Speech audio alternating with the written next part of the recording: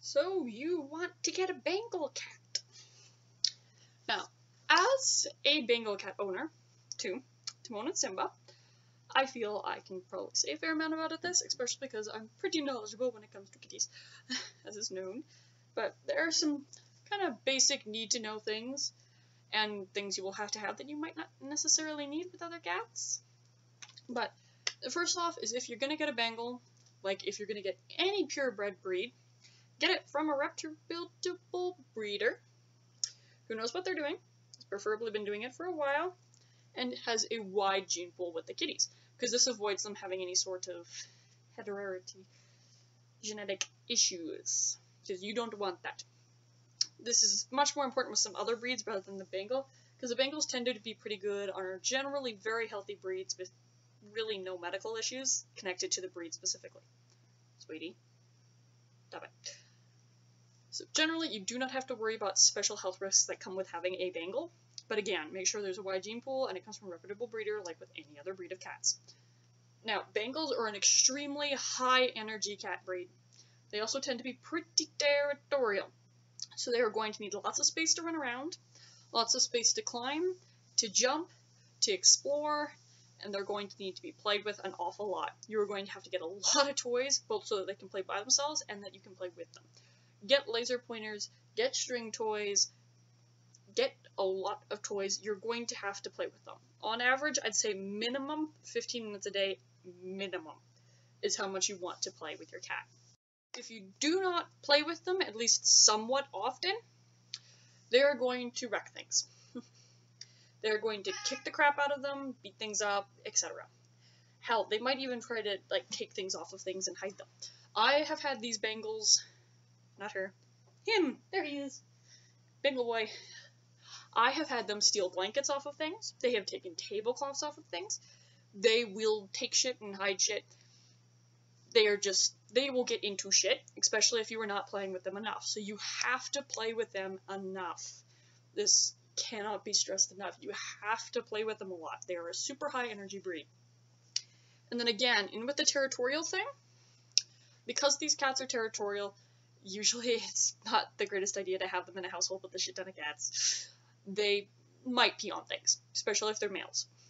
So if you're going to get one, especially if it's a boy, definitely make sure you get it fixed, neutered, whatever, very, very early on, and discourage any outside of the litter box peeing. Period, like always. Like these guys, these guys have a peeing problem. They will pee on things. They will. So if you wind up with a Bengal who does pee on everything, then basically you're going to want an enzymatic cleaner and a lot of it. Other things that help generally with that, see, he's being a little shit here now, playing with things and taking things and moving things around, is getting things that are help calm them down. There is calming call kitty collars, calming kitty collars to calm them down. There's air infusers that are filled with cat pheromones. There are bottle sprays for it, stuff like that. Hell, if you even want to, you can go and you can get them put on medicine to help with it at a vet. That might not necessarily completely get rid of it, but yeah, so that that is one thing. Uh, Bengals also, from the two I have, I've noticed they are incredibly picky. Timon is the worst of the two. They only like certain foods, they'll only like certain litters, etc. But this is more to the specific cat. So they are a rambunctious breed that can be a little on the picky side and might pee on things. Yeah, yeah. She a pretty, she a pretty Bengal. See, very, very handsome breed. All these wonderful spots. Yeah, yeah, yeah. like, he doesn't like being held, but yeah, there you go. You get to see his pretty, pretty spots. So they are a very, very, very handsome breed, and that's why they're fairly popular. But they do come from a semi-wild breeding. Bengals are typically bred partly wild, I guess you could say. Not really, but partly, because that's why they have their spots. Is because if you look at them, what do they resemble? Yeah, they, they resemble ocelots, servals, Asian leopards, that sort of thing. And they do come from that lineage. They do. So they are a little on the wild side. So because of that, they do have some behavior that is a little bit wild. So they will hunt things, and also because of that, if you have a Bengal and you're having it outside, it will decimate the outdoor populace of rodents and whatnot. It will kill them left, right, and center. You will have dead rats, dead birds, dead mice, everywhere, especially if they leave you presents. So I really would not recommend them being outdoor cats if you aren't alright with them completely decimating the population out there. Other things with Bengals is there's this thing called a cat wheel. Um, they're pretty much made with Bengals in mind. It's a giant hamster wheel that a cat can run and every video you look up on YouTube is probably going to feature Bengals running on these things, because, like I said, they're basically made with Bengals in mind and that is because of the high energy that is a Bengal. So something like that is an incredibly good idea. So I would recommend all those things, but they are extraordinarily expensive. And if you play with them enough, they're not really necessary, but they are a good idea, and I would recommend them. Another thing is, these are a breed of cat that you can and actually should be walking, especially if they like to pee on things. Because what this will do is they'll go inside and they'll be like, the neighborhood kitties piss on this bush, so I'm gonna piss on this bush instead of pissing inside. That's basically what happens. It also gets out some of their energy and their urge to explore out into the world. And so these are also great cats if you want to actually be taking it on a walk. And hell, if you wanted to, and you have the right Bengal temperament for it, you could take them out climbing with you if you wanted to. Like, obviously, don't take them on hard ass trails and stuff, but you could, and there are people who do that. But if you are going to do that, you need to get a proper cat harness.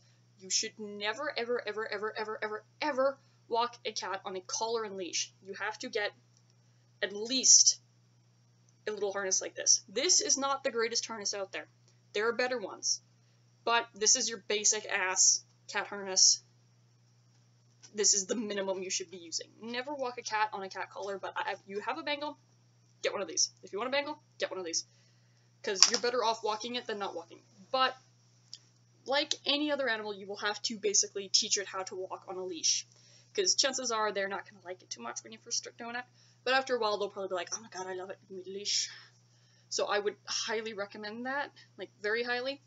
But I guess to just cap, since I want to keep this somewhat a short video, to do just a little cap on these cats, they are high energetics, you're going to have to play with them. You're going to have to have a lot of time to play with them and to possibly clean up after them because they are going to make a mess.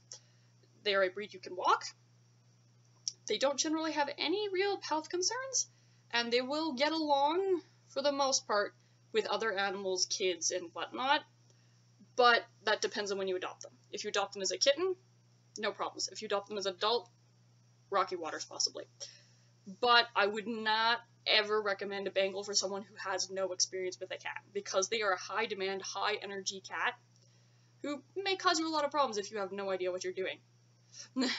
so basically, don't get this cat if you've never owned a cat. It's if it's for people who are well versed in handling kitties.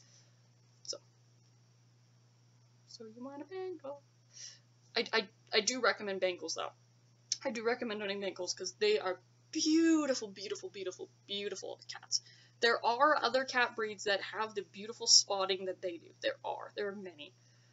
One of the more popular examples is like Savannah cats, but Savannah cats are much more wild than a Bengal. Only thing I would say though, because I've seen a lot of videos of this online, do not adopt a serval. That is not a domestic cat breed. If you want to spot a cat, get a Bengal, maybe get a Savannah, Just don't get a serval. That is a wild cat. Don't do that.